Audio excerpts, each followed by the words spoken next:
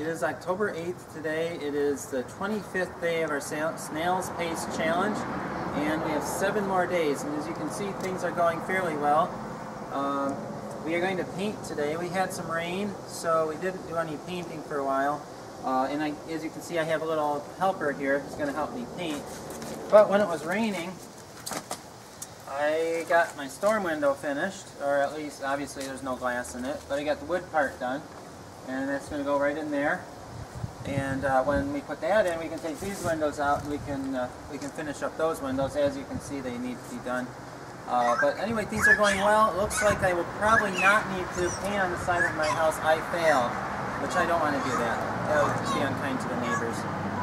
So I am going to get started painting with my little helper here. We're going to get it painted. Well, we finished the first coat of paint, and my little helper good job.